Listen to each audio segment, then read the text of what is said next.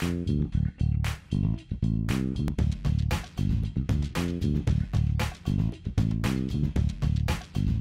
современных зданиях основными источниками шума являются технологическое и инженерное оборудование. Это насосы различного назначения, холодильные машины, градирни, внешние блоки кондиционеров, а также вентиляционное оборудование.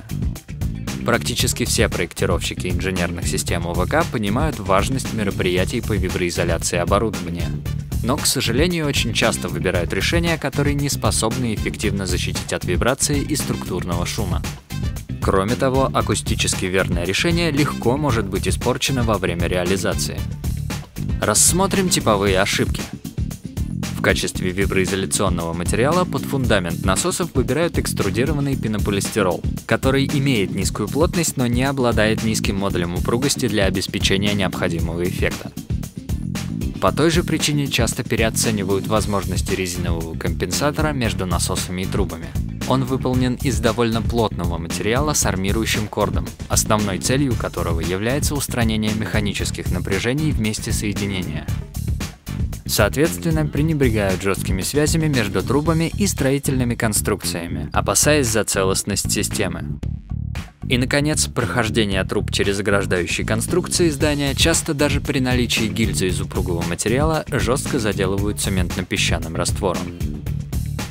Хорошим примером служит холодильный центр в одном из московских жилых комплексов премиум-класса. В результате ряда ошибок, допущенных при проектировании и монтаже системы хладоснабжения, при ее работе в жилых помещениях квартиры было зафиксировано 40 дБА. Это очень существенные превышения допустимого уровня шума, который составляет 25 дБА.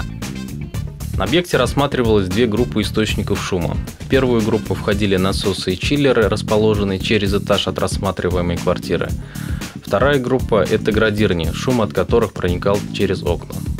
На этапе начала работ были выявлены основные проблемы. Все трубы холодильного центра были жестко закреплены к перекрытию. Вспомогательные стойки жестко скрепляли фундаменты насосов с потолком помещения – теплоизоляционный слой под крепежными хомутами не обеспечивал виброизоляции. Чиллеры были установлены на основании через штатные пружинные виброизоляторы, которые при установке перепутали и не учли, что давление на основание под опорами отличается. В результате одни опоры были недогружены, а другие перегружены. Коллекторы и часть трубопроводов имели жесткое опирание на пол. Шумозащитные экраны на улице обеспечивали низкую эффективность из-за недостаточной высоты. Хотелось бы сказать, перед началом работы мы понимали, что столкнемся с полным демонтажом, монтажом системы хладоснабжения, холодильных машин, насосных агрегатов, трубопровода. После выполнения обвязки трубопровода при помощи виброизоляторов мы должны обеспечить надежность данного крепления, долговечность работы холодильного оборудования и в целом всей системы хладоснабжения данного здания.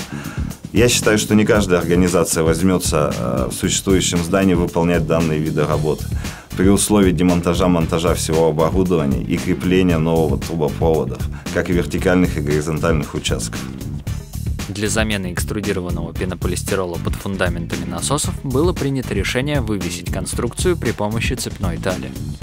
Для этого потребовалась установка временных креплений из швеллера, После всех подготовительных работ под фундамент был уложен материал силомер SR-18 толщиной 25 мм в качестве ленточных опор в два слоя.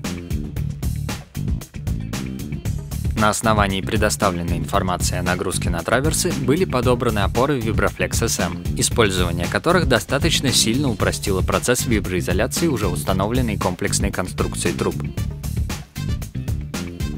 были применены и нетиповые решения, которые рождались буквально на объекте, такие как применение Vibraflex SM в качестве подвеса. Самым сложным вопросом была виброизоляция неподвижной опоры, установленной на верхнее перекрытие технического помещения. В этой точке закрепляется вся система труб. И с одной стороны стояла задача надежно зафиксировать их, а с другой — выполнить качественную виброизоляцию. Прохождение труб сквозь перекрытие было выполнено через металлические гильзы с упругим слоем из минеральной ваты.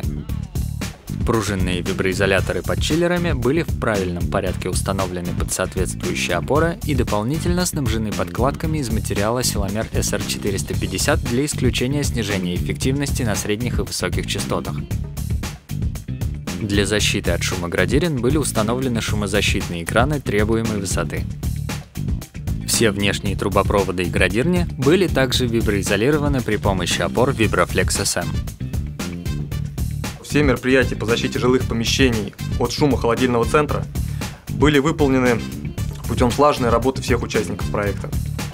Предварительное обследование и выдача эффективного решения. Поставки материалов в кратчайшие сроки.